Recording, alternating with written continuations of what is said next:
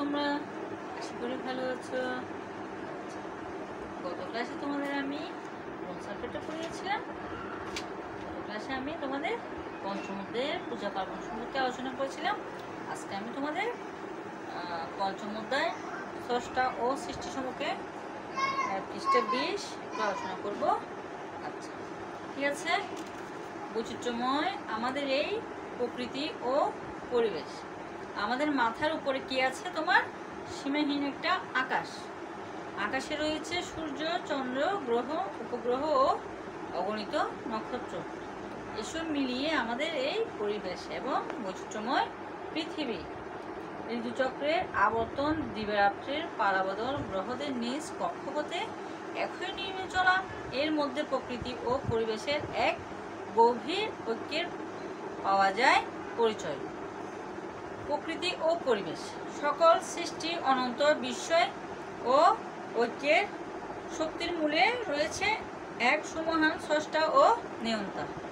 তিনি ঈশ্বর, তিনি পরম ব্রহ্মা তিনি নিয়ন্ত্রণ করেন বলে সব কিছুর মধ্যে একটা শৃঙ্খলতা ও ঐক্য রয়েছে।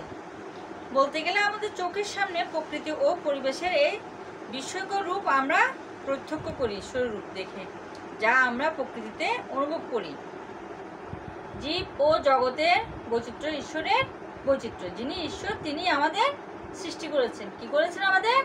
সৃষ্টি করেছেন। সকল কিছুই তার সৃষ্টি। ঈশ্বর যা করেন তাকে বলা হয় ঈশ্বরের লীলা।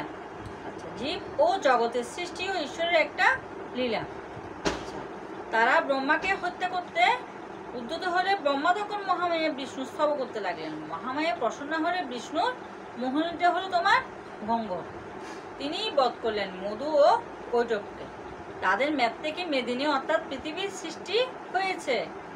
ব্রহ্মা ও বংশ বিস্তারের জন্য তার মানুষপুত্র ঋষিদের সৃষ্টি করলেন। কিন্তু তারা বংশ বিস্তারে মগ্ন না হয়ে তপস্যায় হলেন মগ্ন। তখন ব্রহ্মার মূর্তি থেকে জন্ম হলো নারী ও পুরুষের। পুরুষের নাম হলো স্বয়ম্ভু বা মনু আর নারীর নাম হলো তোমার শতরূপা। আমরা মনু সন্তান বলে মানব নামে পরিচিত। মনু ও শতরূপা থেকে মানব কুলের জন্ম হয়। এভাবে ঈশ্বর সৃষ্টি করলেন মানব কুল। এরপর দেখো তোমরা অনুশীলনী, প্রশ্ন ও উত্তর। নিচের প্রশ্নগুলো উত্তর দাও। আমাদের প্রকৃতি ও পরিবেশ কেমন? আমাদের প্রকৃতি ও পরিবেশ বৈচিত্র্যময়। আকাশে কি কি রয়েছে? আকাশে রয়েছে তোমার চন্দ্র, সূর্য, গ্রহ, উপগ্রহ ও অগণিত নক্ষত্র। কৃষির মধ্যে প্রকৃতি ও পরিবেশের এক গভীর ঐক্যের পরিচয় পাওয়া যায়? ঋতুচক্রের আবর্তন দিবারাত্রির পারাবদল, গ্রহদের কক্ষপথে একই নিয়মে চলা এর মধ্যে প্রকৃতি ও পরিবেশের এক গভীর ঐক্যের পরিচয় পাওয়া যায়। প্রকৃতি ও পরিবেশ সকল সৃষ্টি এবং অনন্ত বিস্ময় ও ঐক্য শক্তির মূলে কি রয়েছে? প্রকৃতি ও পরিবেশ, সকল সৃষ্টি অনন্ত বিস্ময়, ঐক্যের শক্তির মূলে এক সুমহান স্রষ্টা ও নিয়ন্তা রয়েছে। এরপর আছে তোমার পরের পৃষ্ঠা দেখো।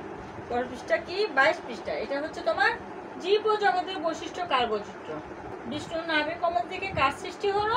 বিষ্ণুর নাভি কমল থেকে ব্রহ্মার সৃষ্টি হলো। বিষ্ণুর কানের ময়লা থেকে কারা সৃষ্টি হলো? বিষ্ণুর কানের ময়লা থেকে মধুকজক নামে দুই দৈত্যের সৃষ্টি হলো। আচ্ছা এরপর আসছে তোমার কি সত্য মিথ্যে নির্ণয় করো? আকাশে রয়েছে সূর্য, চন্দ্র, গ্রহ, উপগ্রহ, অগণিত নক্ষত্র, সত্য।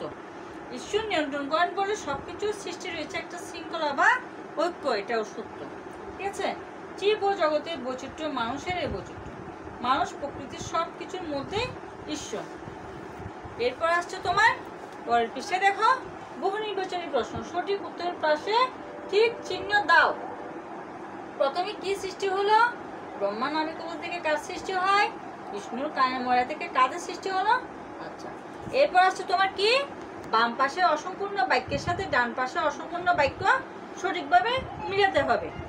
আচ্ছা এরপর আসছে তোমাদের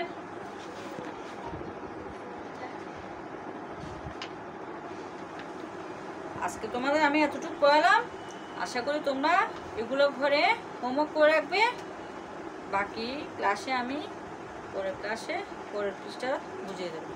আচ্ছা তো ভালো থাকবে সুস্থ থাকবে।